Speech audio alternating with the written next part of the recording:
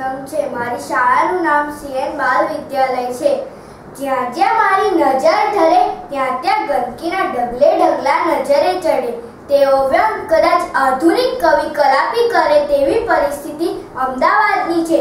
શાંત, સ્વચ્છ સુગણ કર્ણાવતી નગરીની આજની પરિસ્થિતિ જોઈને મને અત્યંત દુઃખ થાય છે.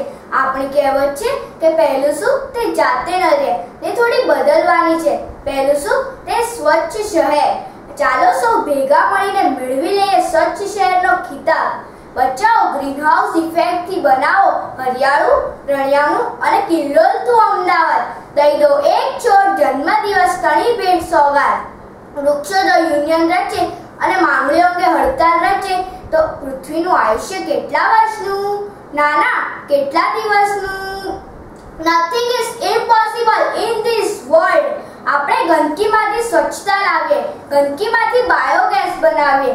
આપણે પૃથ્વીને ધરતી માતાને ગ્લોબલ વોર્મિંગથી બચાવીએ. પ્લાસ્ટિકની બેગને આપો શ્રદ્ધાંજલિ અબોલ જીવોને આપો અભયદાન. કાપડની બેગને રાખો હાથ વગી.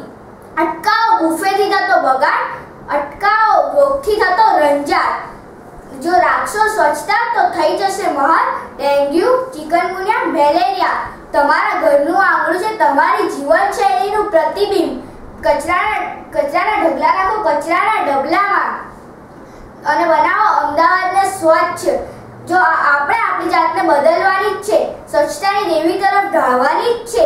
જો અમદાવાદમાં સ્વચ્છતાની દેવી વિહરશે તો સરસ્વતી દેવી અને લક્ષ્મી દેવી પણ અમદાવાદમાં વિહરશે આભાર. સરસ.